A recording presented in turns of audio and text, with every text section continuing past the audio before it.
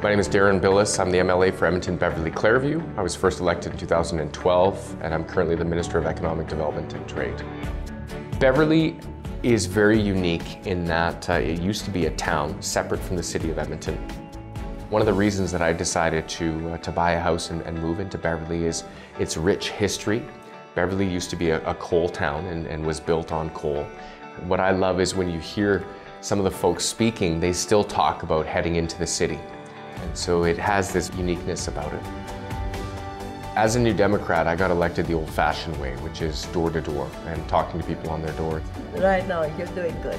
Okay, thank you. Are there any uh, you're being very kind. about Since 2010, I uh, knocked on tens of thousands of doors and would regularly attend events uh, connect with people, and quite frankly, I think it's all about relationships. And I think that's the case in any profession, but especially in politics.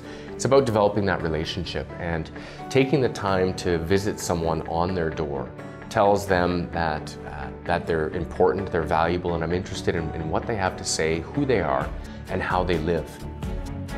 For me, it was uh, the fact that I wasn't happy with the direction that the PCs were taking Alberta. You know, we're a very uh, resource-rich province, and the fact that we were squandering away our dollars, our healthcare system was falling apart, our class sizes were continuing to grow, and I felt like I needed to do something about it, and I'm not the type of person to just complain about something. I, I want to be involved in the change. I'm excited for Alberta to be a leader again. So leading in innovation and technology, I'd like us to have a very sustainable and resilient economy that's not at the whim of one commodity, you know, with one price that's set by one buyer. And so really looking at uh, truly having a diversified economy and continuing to offer the best and highest quality of life. Attracting uh, folks to Alberta and, and, us continuing to be the best place to raise a family, to, uh, to live, work, and play.